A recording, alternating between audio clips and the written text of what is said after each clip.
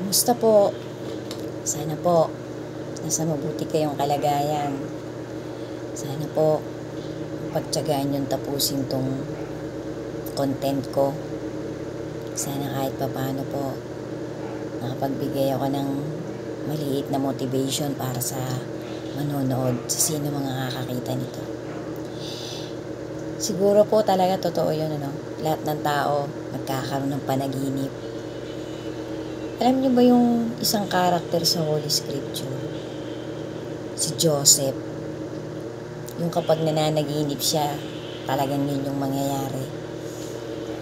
Ganda din po nun, inspiring din po yung kwento niya. Isa po siya sa labindalawang anak ni ni Jacob. Si Joseph. Bali punso po siya. Yung iba pong kapatid niya, kapat, magkakapatid talaga. Siya po, iba po yung nanay niya.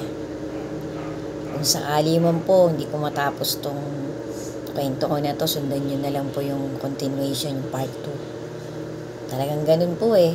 Talagang hanggang doon lang yung limit ng minutes ng platform na to eh.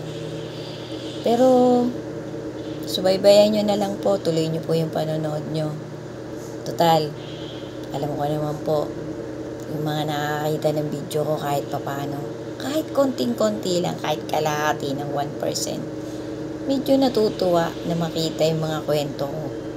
Hindi ko man po ma-elaborate ng buong buo, at least yung mga magagandang detalye na i-relate ko po. Thank you po ulit sa mga nanonood ng mga content ko.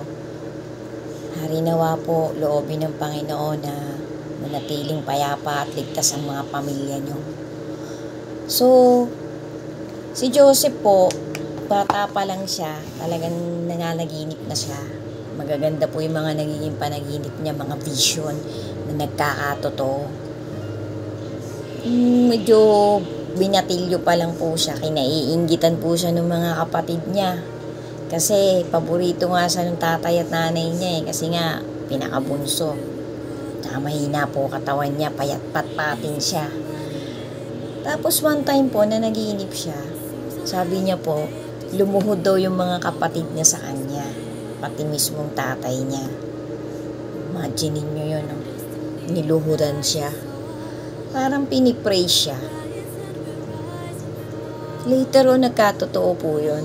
Sundan niyo po yung part 2. Thank you for watching. God bless all of us. Stay safe and don't lose faith.